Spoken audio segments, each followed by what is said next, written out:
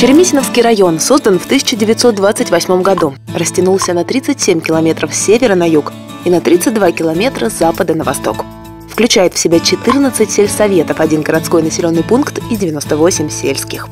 В 2020 году район занял первое место в регионе по урожайности зерновых – 60,8 центнеров с гектара. Всего сельхозкультурами засеивается около 60 тысяч гектаров. На территории района работает 11 агропредприятий и 31 крестьянско-фермерское хозяйство.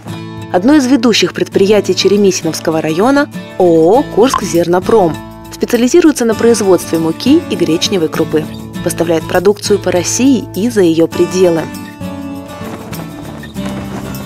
1983 года в районе работает газокомпрессорная станция филиала ООО «Газпром Трансгаз Москва». Обслуживает два компрессорных цеха на магистралях Елец-Курск-Киев и Елец-Курск-Диканька.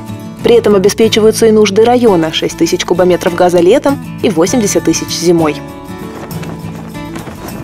Ратная слава Черемисиновского района уходит в глубокую древность.